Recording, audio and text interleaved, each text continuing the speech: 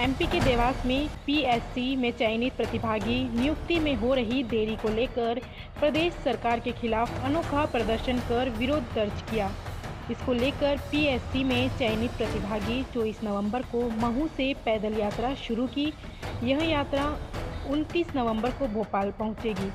इस दौरान जगह जगह रुककर भीख मांगकर खाना और सिर भी मुंडवाया। यात्रा सोमवार रात को देवास पहुँची। मंगलवार को उज्जैन रोड पर अंबेडकर प्रतिमा के यहाँ बैठकर प्रतिभागियों ने अपने सिर मुंडवाए और उसके बाद पैदल भोपाल के लिए रवाना हुए। अब सोनकच्छ में प्रतिभागी विरोध स्वरूप मुंडन कराएँगे।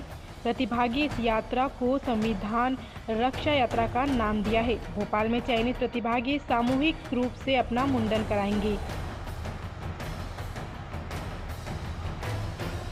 हम लोग पीएससी से चयनित हुए हैं। सभी लोग सहायक प्राध्यापक है।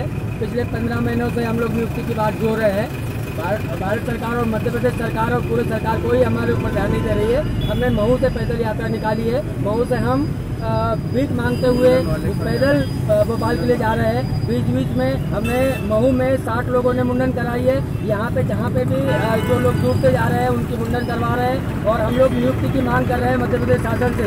जीतू पटवारी जी बार बार हमें आश्वासन दे रहे हैं। अब आश्वासन से काम नहीं चलेगा। मध्य प्रदेश सरकार केवल और केवल हमें आश्वासन दे रही है। हम लोगों ने बड़ी मेहनत कर करके यहाँ से यहाँ तक क्या है पी की परीक्षा पास की है। हम चाहते हैं कि मध्य प्रदेश सरकार के गरीब बच्चों को भी अच्छी गुणवत्ता की शिक्षा मिले।